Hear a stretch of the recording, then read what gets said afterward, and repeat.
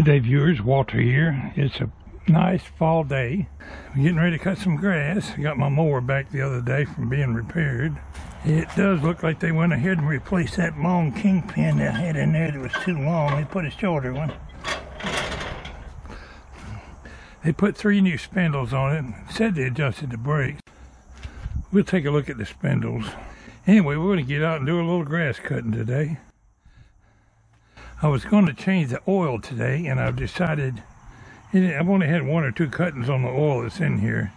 Let me get one more cutting out of the existing oil before I change the oil in the oil filter. It'll take me most of the afternoon to to get this grass cut. It's about out of control. Let's look under here at these new spindles. It might be too dark under there, I don't know. That ought to show it real good brand shining new spindles. I got three of them under here with new blades.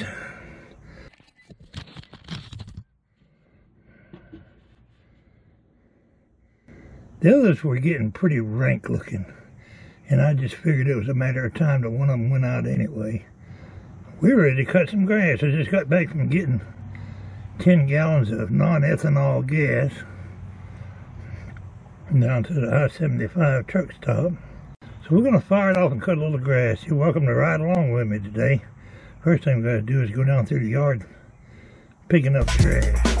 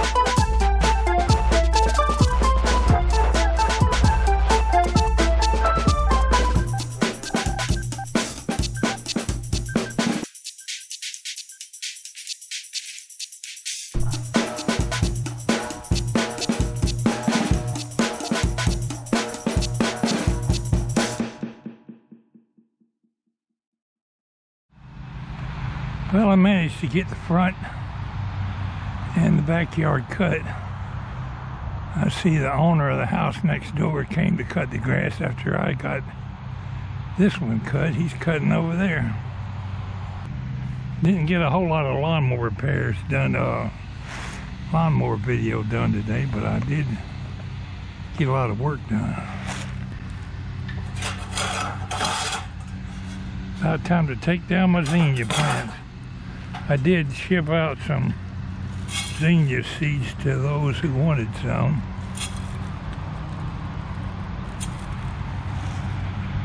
I'll cut these final bulbs in a day or two and take down the plants and trim all the grass back.